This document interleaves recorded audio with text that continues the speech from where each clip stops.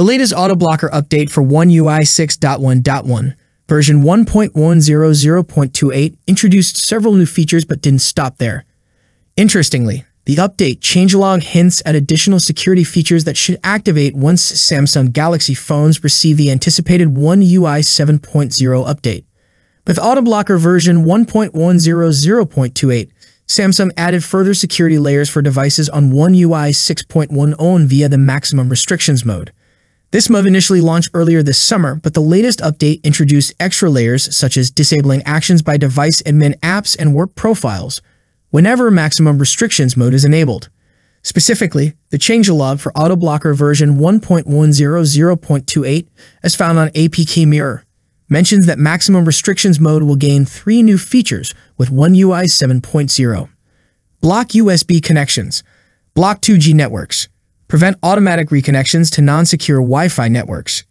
Curiously, the block USB connections feature already exists, but the other two don't. This could either be a Samsung oversight or indicate that the block USB connections feature will gain additional settings in One UI 7.0.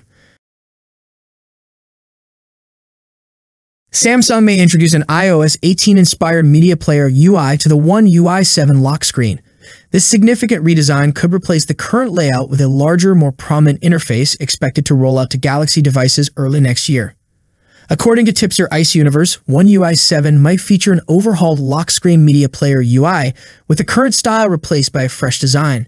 It may take cues from iOS 18, occupying a larger area on the lock screen. The new lock screen media player in One UI 7 could showcase a large square thumbnail with a track progress bar and controls in a separate overlay. A refined blur effect could add an appealing touch to the redesigned interface. Many Galaxy fans have long wanted an iOS-style interface, and it seems Samsung aims to deliver with substantial design updates in One UI 7. We've already heard about updates to the quick settings and notification panel. Alongside the new media player UI, One UI 7 will introduce redesigned quick settings and a revamped notification panel. Samsung is also implementing functional improvements to enhance the overall user experience. Samsung's developers are working on smoother animations, aiming to achieve a level of fluidity similar to Apple's iOS. I hope you liked the video. If you enjoyed the video, subscribing to the channel would be greatly appreciated. That's it for today. What's your thoughts on this? Let me know in the comment section. As always, see you in the next video. Peace out.